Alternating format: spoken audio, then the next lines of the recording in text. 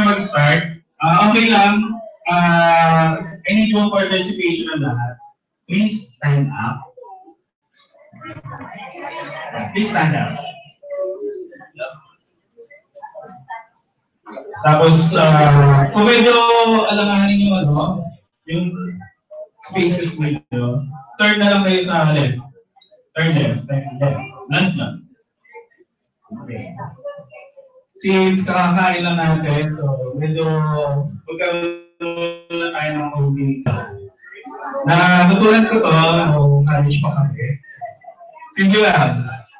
Uh, stand up lang and then first uh, move is right foot forward, bend your knees, shake your shoulder, turn your head. Tapos balik. Tapos, stand foot forward, bend your knees, shake your shoulder, turn your head. Okay? Another round. Isa pa ulit. Right foot, bend, shake, turn your head. Okay, ngayon, nasabayan natin ng konting ano. One, paa, tuhod, balikat, ulo, paa, tuhod, balikat, ulo. Okay, hindi sa lahat.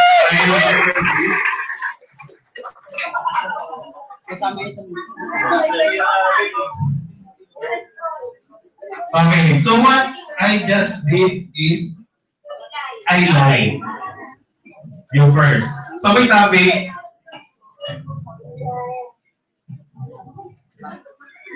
Loggers need to lie. Pero hindi yung na. L-I-E. So yung first,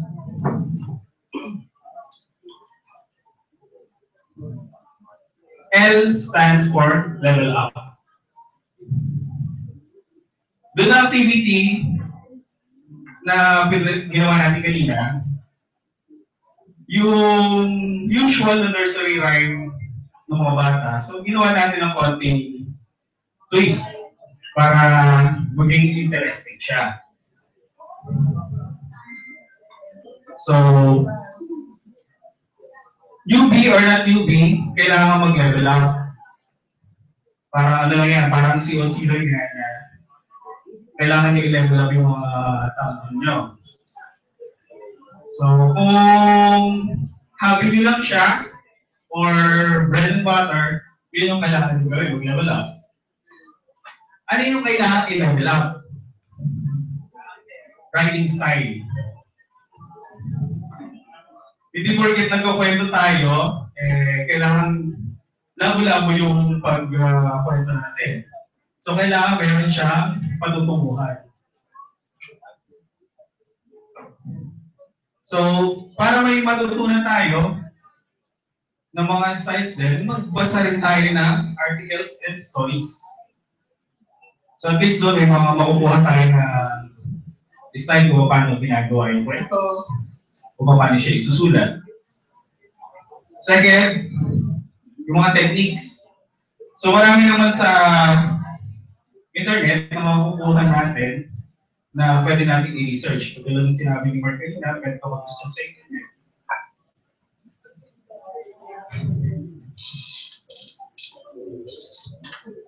So, yung dun sa mga ano natin, sa writing stars, ano yung mga kailangan na meron yung gagawin natin? Una, intriguing yung title. So kung intriguing yung title, makaka-attract siya ng attention. Yung katulad ng ano, title ko, Vloggers You Like. Bakit nga ba, syempre pag ano, magsisinong yung mga vloggers. Right there. Next, kailangan yung first paragraph, doon pa lang, catchy na siya. Na mahuhook na yung pagbabasa para tuloy-tuloy niyo basahin yung buong story. Tapos ito, natutunan ko ito kay Miss Jared. Every time na merong project na pinapagawa si Miss Jared, call to action. Laging lalagyan niyo ng call to action. Para pabalik-balik pa rin yung readers at our followers. sabi nga dun sa ano, di ba? Ah, yung vloggers, kahapon, di ba? Vloggers para na rin journalist. So, meron lang siyang thin na line between vloggers and journalists.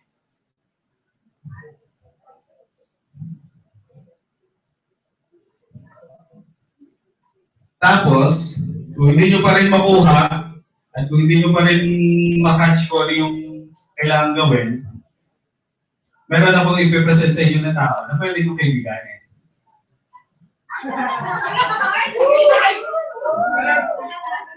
Yan, signature mo niya, marami na winning na entry siya na mga write-ups. So, kung may gusto kayong tanong, gusto kayong malaman sa pagsusulat, kaibiganin nyo to. Wanted.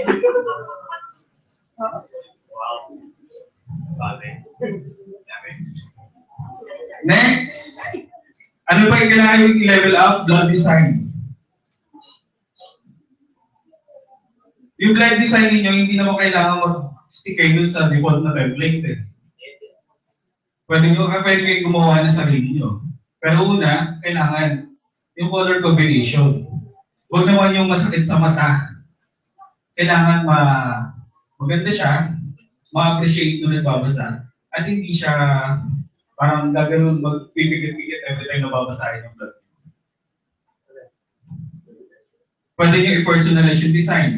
Kung kaya nyo, may Photoshop naman, simpleng artworks. Or pwede kayo bumili ng mga templates, mga ano, sa Merong isa yung sa Studio Press, maganda yung mga nila doon. Tapos, kung sakaling talagang wala kayong alam, kundi nyo, i-hire itong mga to.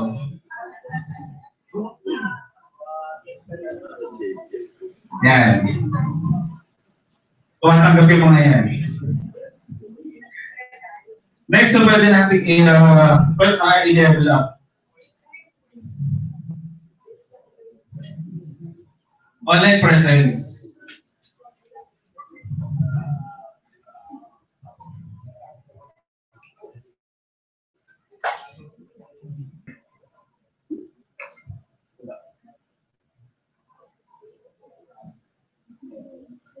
Yun. Ito naman, natutunan ko to kay Ate Landres. Nung interview siya noon na nag-giveaway para sa akin mag-start mag-vlog. Sabi niya, at least once a day, meron kang post. Yun yung ano niya. Tapos, interact with your readers. Kung meron nag-comment sa vlogs nyo, sagutin nyo. Pero kung mga trolls yung nag-comment, sabi nila, nila James, i-block nyo. Create a Facebook page. Siguro naman marami namang gumagamit ng Facebook. Sa, so yung mas kailangan, ano, mas madali din makipag-interact din sa mga leaders. Share your blog post. So hindi lang dapat sa Facebook, sa lahat ng social network na meron kayo, i-share niyo yung mga blog post.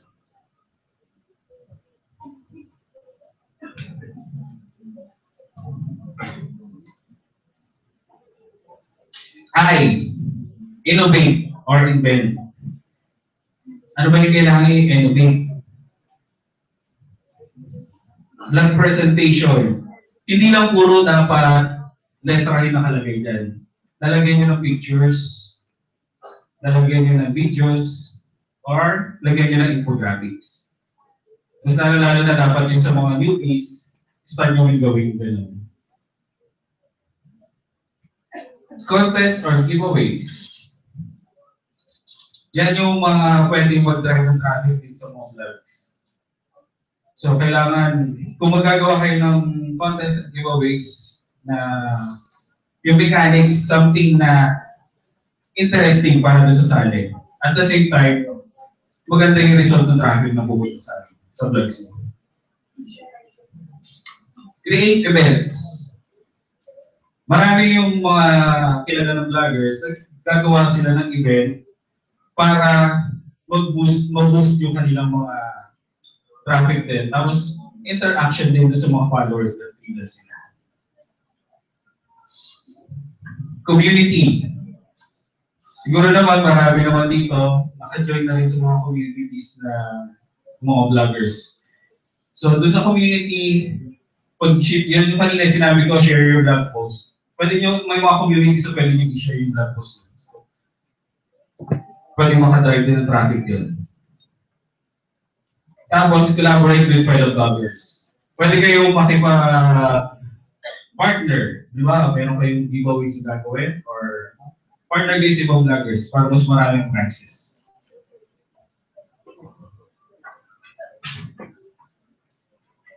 Meaning ng E, ibon.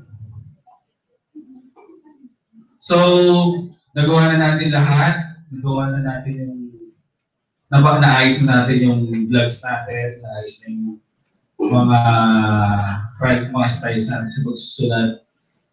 Dapat hindi tayo mag stick sa pagiging ano, vlogger lang. Hindi rin tayo dapat mag stick sa pagiging event vlogger. So dapat, mag-evolve din tayo. Yung vlogs natin, pwede maging source na news. So kung frequent yung pagsusulat natin, and then may mga interesting na news na pwede natin ipasok sa vlogs natin na nakabase doon sa mga niche natin. Online lead generator.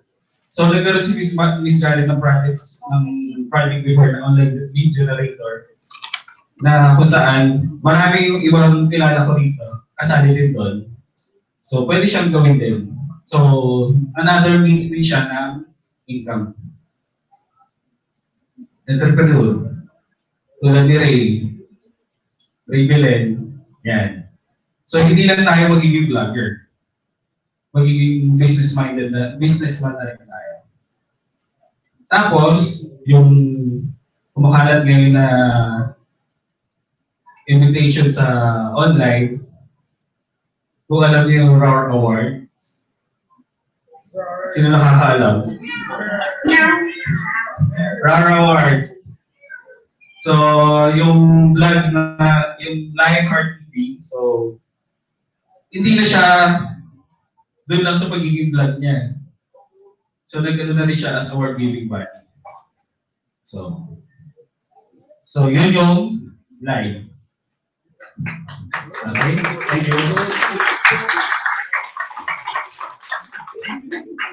Okay, so. So we're open for three questions for Marco. Ako muna, Marco. So, so na-mention mo kanina is about yung yung jumping na parang from uh, first starter, for gano'n. How it's hard, how how how long yung prosesong yun para sa'yo? Yung process na from from the usual vlogger na what what did I eat today, where do I go yesterday, to a to a brand. You're you're talking about brands, you're talking about events. Sabi nga ni Sir RP kanina, hindi siya mabilis.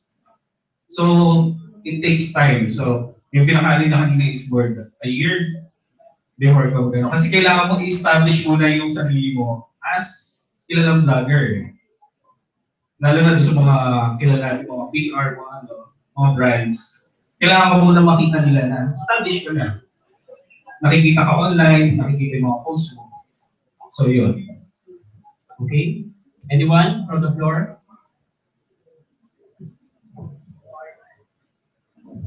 Gentle sila. Uh, question po?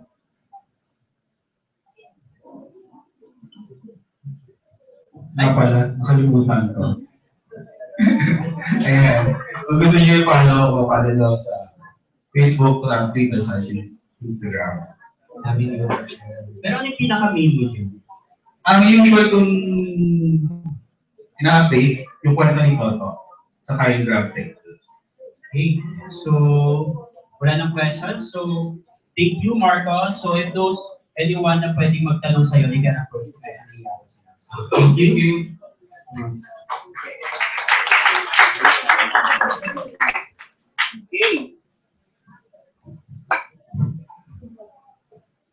Okay, so talking about our next speaker, talking about the growth of bloggers as content creators, as the founder of Bloggers ng Pinas.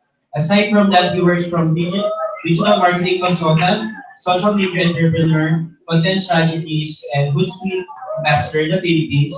What kind of content that consumers who really consume? Here's Ray Baguio to talk about it.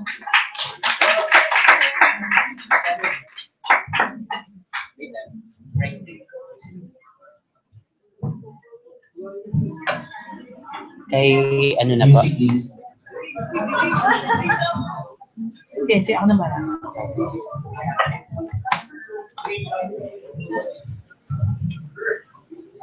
Um,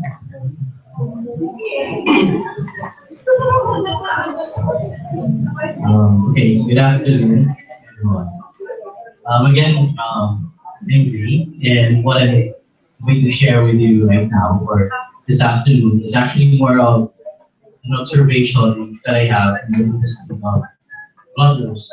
Uh, since I started, I got interested in blogging way back 2008. So, um, the topic title is Growth of Bloggers as Content Creators. Sometimes I get this question a lot. Uh, what's the difference between a content creator and a blogger? Actually, there's again, this is common. This, there's a thin line, but it's actually important that bloggers would need to understand as for their their uh, yeah role as content creators, not just for themselves, for the people that we're working with or brands uh, that we're working with. So it's really important that you know the value of what you have. Because it's just like what you have right now is actually a diamond in rough. You have the power to really make or break brands and products. And if you, you don't know how to use that power, then um, someone else will. And you just feel na parang, ah, useless naman pagiging vlogger ko. So, you might just end up being a So again, um, let's proceed. Yep. Um, again, I'm Ray Embayo. Aside from... Uh, Kaya wala mga fans. later, later, picture tayo. Um, aside from being a blogger myself, I also do digital marketing. And I started, um, I'm the one responsible for this group, Bloggers of Pinas. If you have any concerns, comments about your uh, about the group, yung susunod niyo dyan. But uh, the main of the the main goal of the group is actually to yan, yan, uh, connect, learn, and share, or connect, share, and learn. Connect fellow uh, Filipino bloggers in one community, and then encourage them to share best practices in the industry. We're focusing on best practices kasi we have a lot of bad practices. Hindi na natin dapat i-mention. Lalabas at lalabas siya. Pero best practices dapat natin natutunan. And then, um, share, and share the best practices, and eventually learn how to enhance your blogging experience, not here in the Philippines, not just for bloggers uh, ourselves or uh, us bloggers, but also for the brands who we're working with. Yes, I'll keep on mentioning the name or the, the, the word brand here because we need to really um, stress now what you're doing when you attend to events, you're not just there for the freebies and for the pictures and for the food and the free things you get. There's a reason behind why brands, big or large or small or or calling classing brand man or product, would need to tap bloggers. And that's why it's important to harness this power that you have.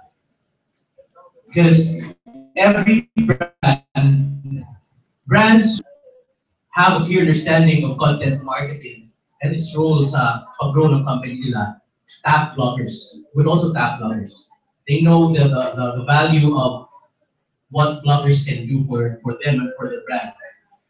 Even those brands who don't have any idea what content marketing is and how, how to use it for, for their brands, would even tap bloggers as well, just because the others, the other competitors are doing, doing it. So nandun pa rin yung role ng bloggers. And we're not really empowering ourselves or doing much about it. We just go to the events and then feel that we're just numbers. Now we would wait for invites uh, it's not bad to to present yourself sa mga events. So you go to the groups ng mga bloggers, you will get this a lot na um, a brand or a friend of mine needs 10 food bloggers who's interested. Then you would sign up. Please put in your email address and then you you do so. I did, I do so uh, every now and then as well. But the thing is, that's a good thing because it will improve your exposure and, and all that stuff.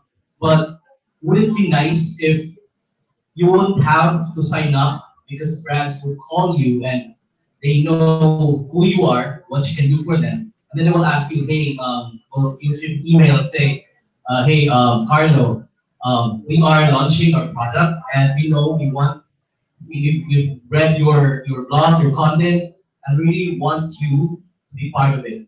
And you'll be given VIP, VIP passes. That's just for you because you know, they know the value of what you can provide for them. So isn't that like an ideal thing for me to do or to, achieve? Instead of waiting for yung mga, oh, sa sana ako, sa ako, tapos umabot ako. Sorry, hindi ka nakaabot sa, sa pila next time na lang. So it's good, ha? Kasi it's, it's good exposure, but don't stay there. That's why it's doing. And brands, they may tell you or not, but you, you, um, you have really good value for them. And not just yung mga binibigay na sa'yo na freebies is actually appreciation, but if you come to think of it, um, you can value yourselves more if you want to grow, if you want to feel that power or harness that power, then you need to grow as content creators other than just plain bloggers and attendees ng events. Okay? So, question is how? I, I don't know the answers of on most of most of the time. As you can see, I'm not really growing pa. So, uh, how do you grow as from a blogger, from a regular blogger to a content creator? The difference, by the way, um, when you say blogger, the good, this is the power of, of bloggers. You infuse or you present, we present the personal touch or the personal, uh, the human touch in terms of marketing. That's why yung relationship natin or yung sulat natin, our readers can relate to us. We're not brochures. Okay? So that's the difference. When when you talk about content um, content creators, what they have in mind is the audience, the target audience. The content I will be creating, is it going to excite or entertain the audience? But for bloggers, we think of uh, if you're a food blogger, how does it taste? I really hated it. I don't care about if you feed if uh, lead reader say, you know what, masarap naman siya eh. Pero what? Hindi siya masarap sa akin. So, may thin line na difference between the two. And if you are a content creator, you will think about the audience and that's what your brands would want. A content that can convert for them. Kasi business pa rin nila yun. eh. Okay? So here are a few observations that I had, I've gathered uh, over the years. First is you need to focus on your brand. If you're a food blogger, stick to it.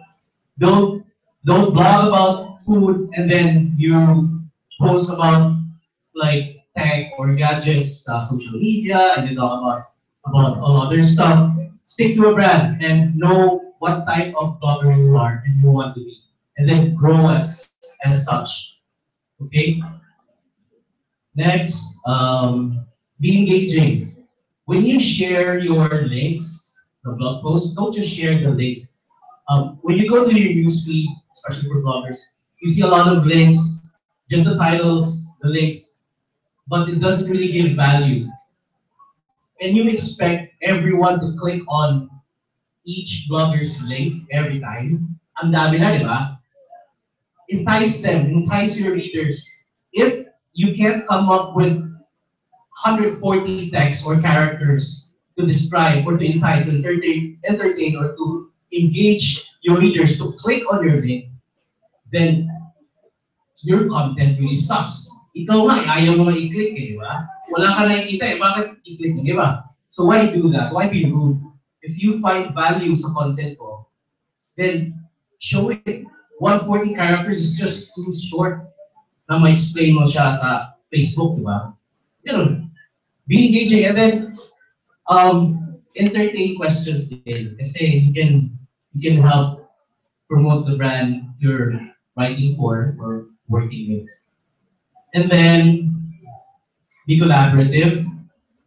You have a support system. We have a lot of fellow bloggers out there. Collaborate with them, not just over social media, but also with your content. Imagine if my followers and one of your followers, if we can create, like collaborate together a content because we were in that, ito, we're in this event, and then ako at saka si Marco will come up, I will come up with a content, including Marco, and Marco will share the content that I, uh, that I will talk about, and then I can tap his followers. And I'm not only helping, he's not only helping me uh, expand the reach of my of my content, but actually we're building relationships together. Hindi masama, hindi ano relationship ah. Romance, hindi romance ah. Kay kami na ni Carlo. So, sorry Marco. So, build relationships, be collaborative. It will bring more, it will open more doors and bring more opportunities for you and for the other person as well. Be creative. Bloggers these days are not just writers. Bloggers these days are also photographers, uh, food uh, travel um, gurus, tech um, gurus, for ano-ano pang pwedeng mag- magawa. And we have the platform, we have the tools available for us, free man yan o, o paid, that we can be creative in our blog posts and our content. Don't just stick to plain text kasi boring siya eh. Diba? Nagbasa naman kayo ng mga blogs nyo mismo or sa ibang blogs, diba? If you can't read the whole thing or if, if ikaw mismo nabobore sa sa content mo, again, why do you, why do you give the same pain? Diba? Don't be rude. Be creative. Love your content. If you love your content, then perhaps people who think the same way that you do will also feel the same way. Okay? And last is read, read, read. No, I don't read a lot of books, but reading doesn't have to mean having a lot of books to read. It means reading materials like online or you have your tablet, your smartphones, use them. And every now and then, if you see an interesting uh, post from your fellow bloggers and and they took the time to come up with clever or exciting captions, do yourself a favor and it on it. You're not only helping that blogger to, to, to improve the rank, but also you're educating yourselves. And you're not only learning what to do with your content, how to improve, but you're also going to learn what not to do. Especially if you're bored with these contents, then you would know what not to do and not copy this person's uh, style of writing.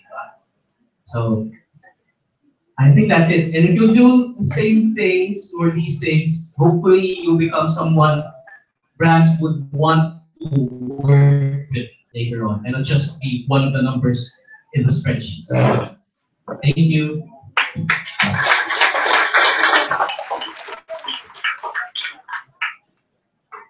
Dan, are you here? Is Len here na? Dan? Jace from JV is not yet here. Wala ba? So, Okay, Q&A muna si Ray. Q&A mo na Glenn. Ah, sorry. Uh, Ray. Pwede rin ako si Glenn. Pwede rin kang kumanta. Pwede. Okay, kakanta na. Okay, questions for Ray. Kakanta. Kapit sa microphone, may question for Ray. na. Dito ba yung microphone sa center? Okay, lapit na. Easier pa rin. Hello. Hello Sir Ray. Ah, ngayon, actually kasi, so kung sa rin paano kaya, kasi, tulad sabi niyo po kanina na ang dami ng vlogs. What can be a vlogger? Pero, um, tapos, syempre, maganda, dapat na maganda yung content. Pero, You want ano to yung to pwede na? parang ilang minutes na magbigay Okay, talk to Angela. Kasi, in a vlog, di ba, kailangan makuha yung attention ng tao. So, um, of course, ako dito marami ng vloggers. So, ano ba yung vlog tips na pwede mo magbigay para makuha yung attention ng para talagang na-engage siya dun sa Okay. Good question. Parang formal. Um, actually, ikaw yung magiging basis niya. And what you brand is, what your blog's brand is. If, let's say, food ka, na sinabi ni Artie, uh, hindi mo kailangan puro restaurant reviews lang. You can be creative. If you know, if you have a strategy, tapos, ikaw mismo will be the basis of whether your post is engaging. Try to, after you publish, or before, even before you publish, try to edit it. I, I'm not really a fan of editing because I, I'm okay with, with uh, parang spontaneous. Pero you only do that, it's risky, but make sure that when you read it again, hindi ka ma-aantukin. Kung ikaw mismo aantukin, then scrap it. Kung hindi, then stick to or, or think of the audience that you're trying to target. Don't please everyone. It doesn't matter kung yung sa out of the 100 networks or, or, or follow sa'yo, isa lang magkakagusto. At least that person will be, will stick with you forever and who knows will be your brand ambassador pa. Diba? Kaysa mag-like ka ngayon ng mga 100, ang like ka naman, hindi naman share. Hindi naman sila maging okay sa sinasabi mo, hindi ka promote, diba? So useless na. Just stick to what you are passionate about. And ikaw yung magiging measure actually.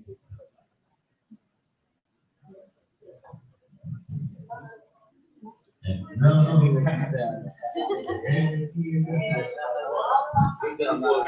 um, so? How to get a lot of followers? Kasi let's face it, there's a lot of people na may mga vlogs sila, they have a lot of followers, pero yung content nila not that much. But there, and may vice versa din, na you can be a creative writer, you can be the person to better through creativity, but like, only na yung followers mo, and some people, most of the brands, prefer yung mga maraming followers, pero konti na yung content, ano, pangit yung content. Than the, ano, so, reality check, ano, so, ano, so, the question is, how can you get a lot of followers without compromise? Okay. Good question, pero medyo tricky sa akin. Ako, if you look at my blogs, the contents, I don't have a lot of followers sa mismong blog site ko. So I compensate. What do I do? Marami akong time so, sa Facebook, sa LinkedIn, wherever I am, maximize what you have. Um, kung wala kang followers, don't fret, huwag kang umiyak dyan. You have friends, di ba? Ask them, ask questions. What can what can interest them, what can catch their attention. It's easier to capture followers and likers or or, or engage, nag-engage tayo sa social media. And then eventually just drive them, drive them to your blog.